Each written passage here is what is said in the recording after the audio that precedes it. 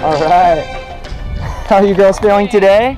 Good. Nervous. Good to hear. We could tell. Introduce yourselves. What are your names? Maribel. Crystal. All right, Maribel, Crystal, welcome to Skydive Taft. Woo.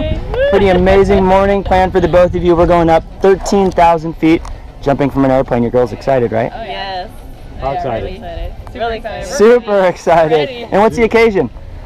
Just for fun. Yeah. All right, We'll live our life. all right, we can handle that. So uh, let's have a good time. Any shout outs to friends, family watching you skydive today? Uh, let me shout out my honey, Mo Money. Oh, all right. Well, keep up the excitement, the energy. Let's have some fun.